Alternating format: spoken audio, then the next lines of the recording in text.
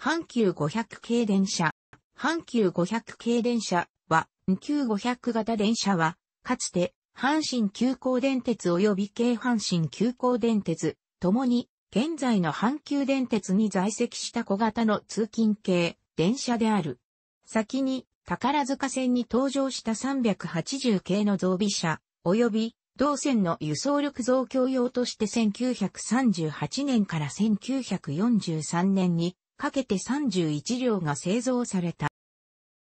阪急宝塚線は沿線の宅地化が進んだことから、1926年には51型を使用して3両編成での運転を開始、1941年5月からは池田駅折り返し列車の4両編成化を行い、同時に320型や380型といった新車の投入や神戸線から300型を転属させることも行うなど、宝塚線の車両が小型車であることから輸送力増強には増欠と増発で対応していた。また、この時期には阪急創業時からの1型も半数近くが宝塚線に残存していたが、51系以降の各形式に比べるとやや小型かつ非力で、輸送力確保には難があったことから、今津線などの支線運用への転出が検討されていた。こうした背景をもとに、本形式が製造されることとなった。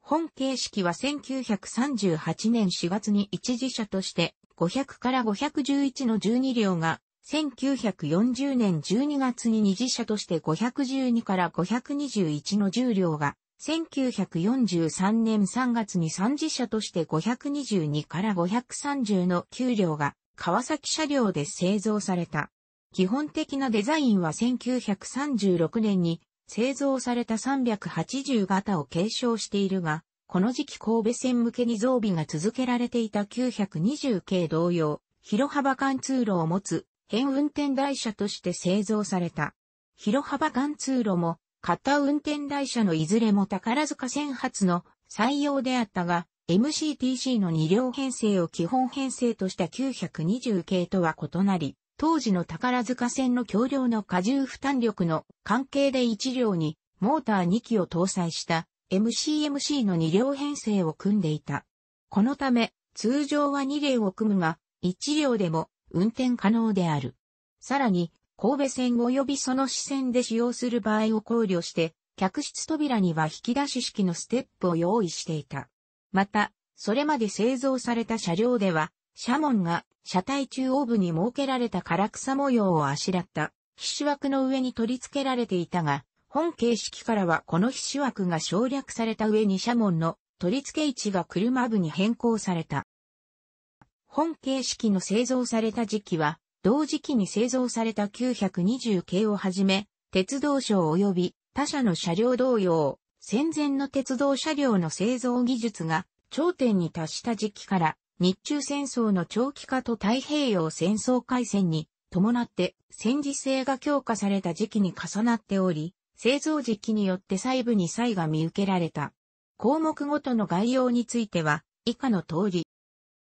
車体は前述の通り380系及び920系をベースとした軽量構造の全構成車体であり、車体長は約15メートル、側面窓配置は D1D6D2、D、乗務員扉、D、客用扉、戸袋窓の片運転台車で、スマートな平ら体のウィンドシルに電気溶接を多用したリベットレスの車体、前面は320系同様中央に貫通扉を配した3枚窓で、運転台、側幕板部に行き先方向幕、女子台側幕板部に微灯を配し、つま面には広幅貫通路を設けた。車体幅は380系同様、約2.4メートルで、車体重量も380型と同じ20.4トンである。屋根には385で使用され、920系3次車以降で本格的に採用された押し込め形ベンチレータとなり、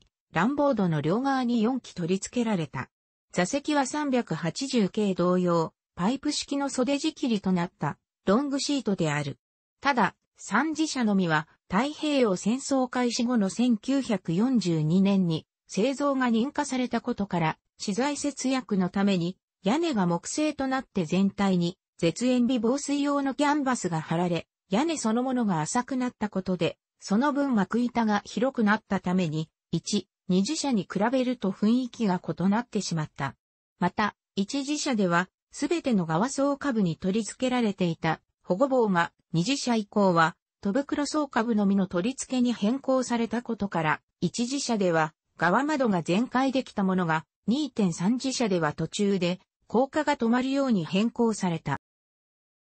台車及び伝送品であるが、台車は380系同様、住友金属工業製の中高台車を採用し、一次車のみ、軸受けに、スウェーデン SKF 社製のローラーベアリングを採用した H-63、64を履いたが、二次車以降は、高品質のローラーベアリングの使用が困難になったことから、軸受けをプレーンベアリングとした H-5 及び H-5E を履いた。主電動機は、一次車では新造品の芝浦製作所製 SE-121E を搭載したが、二次車では300系304.305の宝塚線転入時におけるモーター半減分と306から309のモーターの乾燥によって捻出されたゼネラエレクトリック社製 GE-240A を搭載。三次車では物資不足の折から手持ちの GE-240A と SE-121E を搭載した。いずれも380系同様、宝塚線の橋梁の荷重負担能力から1両、あたり2機搭載した。駆動方式は釣り掛け式、制御機もモーター同様、一次車では新造品の電空化無軸式の芝浦パッチ 13PC-1 を搭載したが、二次車では306から309の制御機の乾燥によって捻出されたゼネラルエレクトリック製 PC-12 を搭載したほか、不足分は芝浦パチ 13PC-1 を申請して搭載、三次車ではこちらも手持ち品活用の PC-12 及び 83PC-1 を搭載した。歯車比は380型と同じ20時55分である。ブレーキは一次車では380型と同じ M3、同弁を使用するアム自動空気ブレーキであるが、二次車及び三次車では、宝塚線発となる A 型動作弁を採用した AM 自動空気ブレーキとなった。このように、本形式は920系を宝塚線向けに小型化したものであり、当時西宮車庫構内にあった工場に新造時に搬入された際やその後検査入場した際、後年宝塚線への920系進出や、神戸線の支線区運用に転じた際に920系と並んだ姿は、ミニ920系と呼ぶにふさわしいものであった。本形式及び320.380型は、阪神851.861-881型や南海線251系、大規デボ600型といった同時期に登場した他社の15メートルクラスの小型車と共によくまとまったスタイルからその後長きにわたって鉄道ファンに親しまれる車両となった。本形式も先に登場した320.380の両形式同様、急行から普通まで宝塚線及び未納線での運用を開始した。宝塚線発採用となった広幅間通路は、一時車の運行開始時には線内の一部に究極線が存在たことから、二次車が登場した1940年12月まで貫通路を閉鎖して運行していた。3度にわたる増備の過程で1型を全車今津線に転出させたことから、宝塚線では51系の38両に次ぐ第2位の在籍数有する形式となり、全線で幅広く運用されたことから、一躍宝塚線の主役に躍り出た。ただ、920系に似た軽快な車体を持っていても380系、同様 82kW 級モーターを2機しか搭載しなかったことか、出力不足は改善されず、現在の大阪駅ガード下及び阪急百貨店内にあった梅田駅を発車して、東海道本線の古線橋を過ぎた時点で、急勾配で高架に駆け上がるときは、軽快に駆け上がる320型とは異なり、本形式は380系ともども、牛のような歩みと評されるほど、かなり苦しい走りぶりで、高架線へ駆け上がっていった。このため、神戸線の900型や920系との13までの複々線区間における競争は全く勝負にならず、当時の鉄道ファンからも500型は見た目はスマートだが、神戸線の電車とは勝負にならないと評された。1939年には一時車に全消灯にフードを取り付けるなどの灯火完成工事を実施している。最後に製造された三次車の522から530については、物資不足が深刻になってきたことから給料という中途半端な量数で製造が終わってしまい、530の相手となる車両は製造されなかった。このため、530は380系のラストナンバーである385と2連を組んだが、この際、530は広幅貫通路を閉鎖していた。太平洋戦争末期の1945年には一部の車両が神戸線へ転出、今津線に投入されて、引き出し式のステップが活用されることとなった。ただ、空襲で502と520の2両が被災、戦後しばらくして復旧したほか、今津線で運用されていた車両も再び、宝塚線に復帰し、また、戦後間もなく10日完成用の装備が撤去されている。1949年に550型が15両製造されたが、こちらも同形式で2両編成を組むと、ラストナンバーの564が余ったことから、530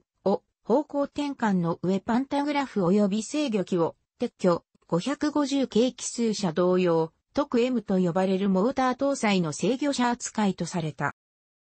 戦後3から4両編成での運行が増加するに、つれて、本形式のみの2、4両編成のほか、性能が同じ300系300から309や380型と連結した3両編成、550型との4両編成、1950年から1952年にかけて付随車化及び完全反抗化改造が実施された1型を中間に組み込んだ3両編成を蘇生した編成が現れるようになった。また、1951年には550系の最終増備車である565が登場し、564と2両編成を組むことになったことから、530は再び連結相手を失うこととなった。今度は再度偶数向きに方向転換を行って撤去していたパンタグラフと制御機を装備、貫通路を閉鎖して528の梅田側に連結されて530-528-529で3両編成を組むこととなった。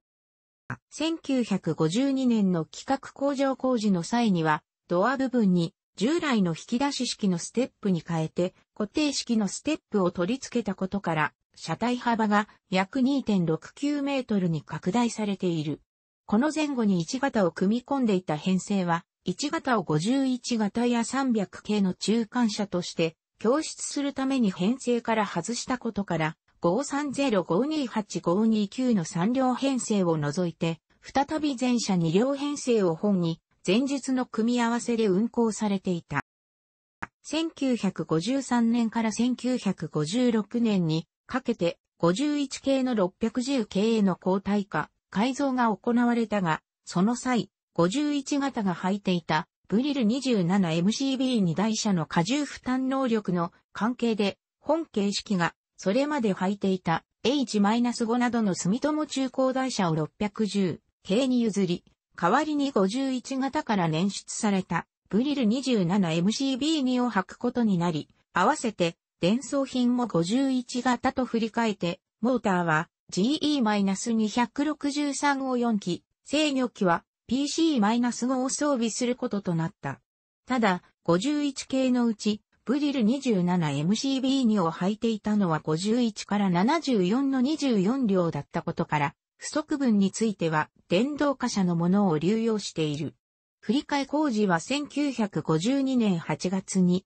行われた530-528-529の3連を皮切りに順次実施、スペックダウンはしたものの、51型と同じ伝送品を用いていた320型や300系310から319と機器統一が行われて連結可能になったことから 82kW 級モーター4機を搭載して1系2両を中間に組み込んだ300系300から309以外の小型車を同一グループとして運用することができるようになり、運用効率の向上に寄与した。この過程で一部の編成は51系の中間に組み込まれていた1型を組み込み、再び3両編成を組むこととなった。また、その後しばらくして、奇数車のパンタグラフが撤去され、奇数車の単独走行は不可能となった。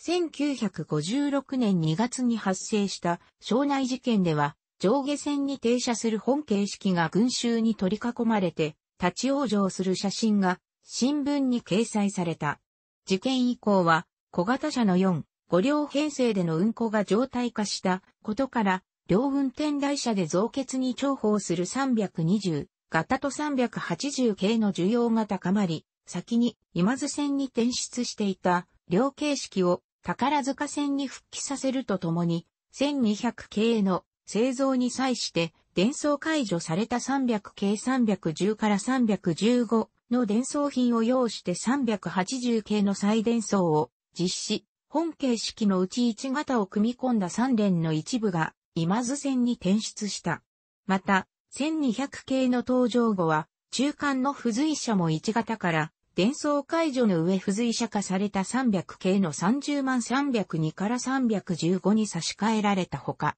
532ついては300系のうち唯一制御車として残った301と組んで2両編成を蘇生した。1950年代後半から1960年代初頭にかけては宝塚線向けの新車として1100系が増備されたが、宝塚線全体の輸送力増強が勝備の急であり、本形式は一部の編成が今津線と宝塚線との転出入を繰り返していたが、大半の編成は320系、380型との混結で5両編成を組んで、朝夕ラッシュ時の未納線直通の準急運用や普通運用を中心に充当されていた。その後、宝塚線への2100系や2021系の増備、神戸線への2000系増備による920系の宝塚線転入に伴って小型車の運用機会は縮小。1960年以降は550系の一部も巻き込んで小型車の西宮車庫への出が増加。本形式も今津線における輸送力増強に寄与したほか、伊丹線での運用も開始した。1962年1月には530と2連を組んでいた301が1系のうち最後まで残っていた32と共に廃車されたが、今度は530と付随車の300が編成を組み、530300528-529の4両編成で運用された。そして1963年12月のダイヤ改正を契機に本形式も未納専用に残された530300528-529の4両編成以外全編成が西宮車庫に転出し、今津線など神戸線の支線で運用されるようになった。なお、未納線に残った4両編成については、528から529を518313519に差し替えて5両編成化されている。本形式は320型や380型と同様、1960年代後半に予定された新方線の河川電圧 1500V への昇圧に、際しては昇圧改造の対象外となり、1964年以降、昇圧速応車として大量に増備された3000万3100系に置き換えられることとなった。本形式においても1965年10月から中間に組み込んでいた300型を外して運用を離脱する車両が現れ、1966年12月には最後まで未納線で運用されていた50から300518313519の5両編成が同線に復帰した550型と交代する形で西宮車庫に転出、ついに長年走り続けた宝塚、未納両線から姿を消した。残された神戸戦士線運用も昇圧を前とした1967年6月に終了、全車運用離脱した。500から505及び508から509の8両は、広島電鉄に譲渡されることとなった。この8両は1967年10月17日付で廃車となり、広電入線に際してドア位置の変更などの改造を行い、同社の1070型となって宮島線での運行を開始した。野瀬電鉄での運用終了後も、広電1070型は従前同様宮島線で運行されていたが、低床車の増備に伴う宮島線と市内線との直通運転の拡大により次第に運用される機会が少なくなり、1988年までに廃車された。なお両車間における類似した譲渡としては、同形式の後にも、阪急210系広電線80型が存在している。一方、残った506.507-510から530の23両は、先に転入していた320型に続いて、野瀬電気軌道に貸与されることとなり、1967年10月までに平野車庫に搬入されて校内に留置された。同社では、同年10月3日付で得た518から523の貸与契約を阪急との間に同年10月24日付で成立させて、整備の上運行を開始、最後まで残っていた元 P-4P-5 の10.20型を置き換えるとともに、川西の瀬口駅ウグイスの森駅間の複線化に伴う同年12月3日のダイヤ改正に伴う輸送力増強に寄与した。引き続いて1968年4月1日付で524から529を借り入れし、4月24日のラッシュ時3連運転開始時には、先に投入されていた518から523、ともども編成の全部に320型を連結して運用された。残る11両の借り入れについては、1971年4月7日からに川西の瀬口駅平野駅間において4両編成での運行を開始したことから同年5月10日付で506.507-510.511-517の5両を借り入れ、1972年4月8日からは4両運行が全線に拡大されたことから、残る6両についても同年9月30日付で借り入れを行い、搬入された23両全車が乗せ電気軌道での運行を開始した。その後320系同様車席が阪急にあることで、阪急所有車両の平均車齢が上昇することから、阪急から乗せ電に対して購入依頼があり、1968年までに貸与された12両については1973年3月1日付で、乗せ電気軌道に譲渡され、残る11両も1977年6月14日付で譲渡された。野生電入りに際しては、当時存在した急カーブを曲がる際に支障となる標識灯の埋め込み化やジャンパ線の内側への移設が行われた。また、借り入れ開始まで長期間留置されていた506から517.530については、再使用時の車体整備の際に、車内がクリーム色に塗りつぶされている。野瀬電気軌道入線後は、社名が野瀬電気軌道から野瀬電鉄に変わっても、本形式は320型や380系、1977年以降に入線した610系とともに主力車両として走り続け、大きな改造もなく使用されていた。1975年には、この時点で先頭車として使用されていた車両に列車無線が設置され、実質的に4から5両編成固定化された。昭和50年代に入ると老朽化が目立つようになり、特に屋根周りの老朽化は雨漏りがするなど深刻な状態で、一部ベンチレータや乱ボードの撤去が行われた。1979年から1980年にかけて車体更新され、電動発電機の設置や車内灯の蛍光灯、屋根周りの整備、全消灯のシールドビーム化などが実施された。一方、列車無線を取り付けられていなかった車両の運転台が撤去された。518.519の2両は更新対象から外され、日生線で2両編成で使用され続けたが、室内灯はグローブ式の白熱灯から環球に変更されている。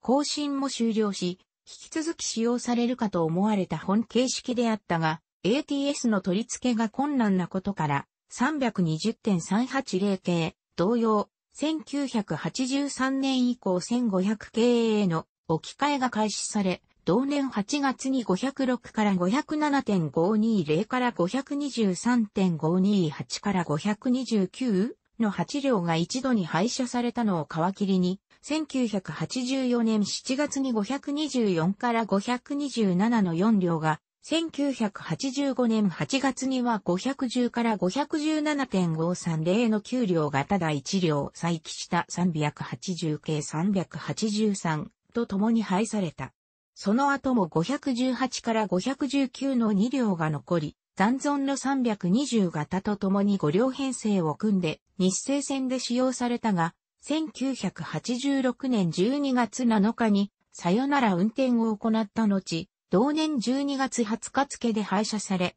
野瀬電鉄の輸送力増強に多大な貢献をした本形式は姿を消した。楽しくご覧になりましたら、購読と良いです。クリックしてください。